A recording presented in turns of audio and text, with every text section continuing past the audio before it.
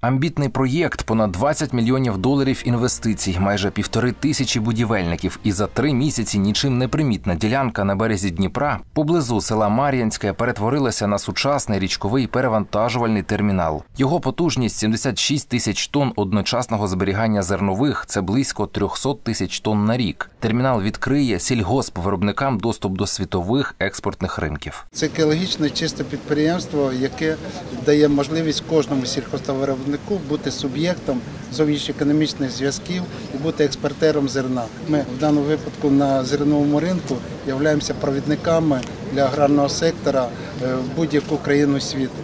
Вони будуть мати можливість спілкуватись і експортувати зерно по валютним контрактам з будь-яким суб'єктом Єгипта, Індонезії, Китаю. Кожен новий такий термінал крок вперед у розвитку як аграрного сектора, так і інфраструктури загалом, впевнений профільний міністр. Дуже приємно бачити, що насправді є такі соціально відповідальні підприємства, які навіть випереджають час до того, як є вже законодавча база, до того як там є повне фінансування на модернізацію шлюзів.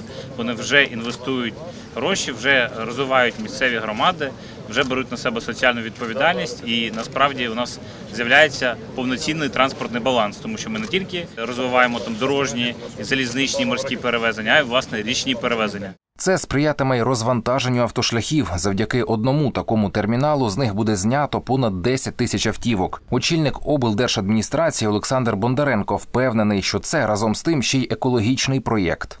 Розвантажуючи автошляхи, ми маємо менше викидів у повітря, і для нас це теж важливо. Ми маємо менше е, завантаженості автошляхів і маємо менше дорожніх транспортних подій, маємо безпеку на дорогах. Тому це можна сказати екологічний проект, зелений проект, який дозволяє збільшувати експортний потенціал нашої області, а саме експортна е, складова і орієнтованість є запорукою стабільного розвитку економіки.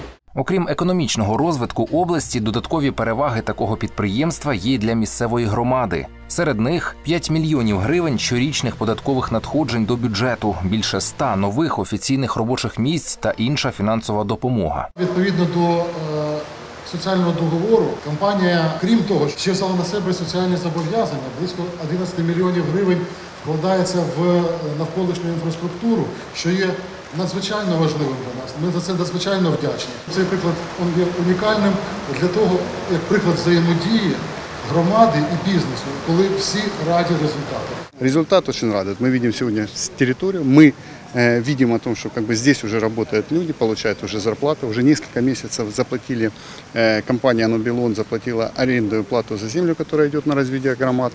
И самое главное, что мы должны понимать о том, что тут работает 120 человек. Это э, люди, которые проживают на нашей территории в э, Маринском. Это здорово и классно, и дай бог, чтобы у нас появлялось больше таких интересных э, громадных инфраструктурных объектов, которые нам помогают. Щодо взаємодії з громадою, компанія з власної ініціативи пообіцяла додатково забезпечити вулиці села освітленням та тротуарними доріжками, а також організувати сучасний парк для місцевих мешканців. За подібними проєктами майбутнє громади. Так вважає голова Зеленодольської ОТГ. Я хочу скористатися нагодою і подякувати тим людям, які сприяли реалізації цих проєктів в надскладний е, час, коли була пандемія, коли були певні складнощі з поставками обладнання з-за кордону. Тому я хочу подякувати в першу чергу. Народному депутату Дмитру Шпенову хочу подякувати обласному керівництву, яке сприяло е, просуванню цього проекту і реалізації. І також депутатів, депутатам місцевого рівня, які підтримували е, всі мої намагання. І я глибоко переконаний, це не останній інвестор на території нашої громади, який зробить нашу громаду потужною, спроможною і процвітаючою. Євген Клусовський, Микита Шевченко. Цей день.